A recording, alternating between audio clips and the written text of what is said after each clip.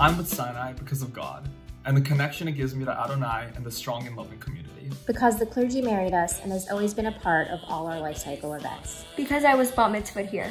Because I grew up here. Because of Lador Vador. Because, because it is the place we pray and play. Because we're in this together. Jewish education is an invaluable gift to give our kids and we need to continue to promote it.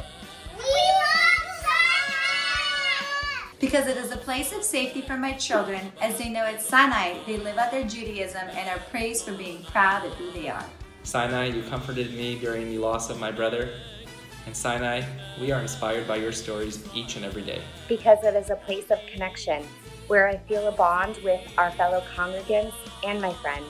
Because this is where you worship, learn, and grow. Because we need to continue the Jewish people. Because you are helping us to raise mensches and lovers of Torah. We've met our closest friends, our loves, the ones we love to celebrate, travel, drink, laugh, cry with. Because Sinai will always be there for me. Because Sinai needs you. And you need Sinai. Isn't that right, Stephanie?